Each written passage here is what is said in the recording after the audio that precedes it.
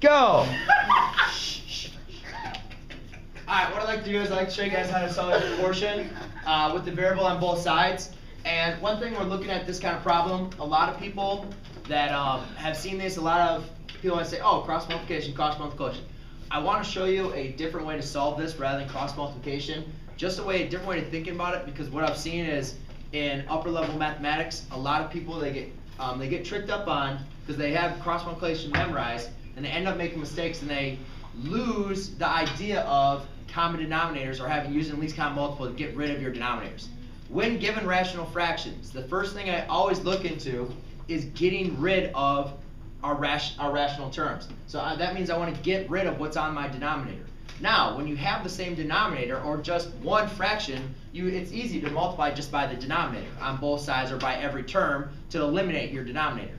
However, when you have two terms that have different denominators, you have to multiply by the least common multiple, or these that have the least common denominator. So between 4 and 2, what is the lowest number that both of these numbers go into? And I understand that's going to be 4. Now, a big mistake that students say is they multiply by 4, and they multiply the denominators by 4. You have to be careful. Remember, 4 it can be represented as a fraction, where 4 would be your numerator and 1 would be your denominator. So when I'm multiplying by 4, I need to make sure I multiply by 4 times by 4 over 1. So I'm, not, I'm only multiplying the numerator.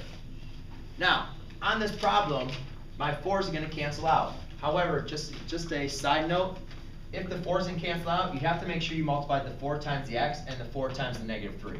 But fortunately for us, our 4's cancel out.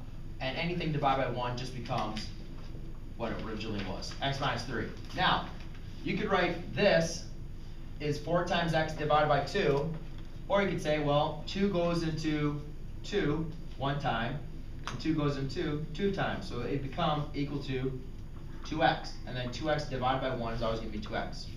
So now, I have a, a variable on both sides, and I need to get the variables on one side. You have to get you have to have one variable and get the variable on one side. And I notice it's going to be a lot easier if I just subtract this x here.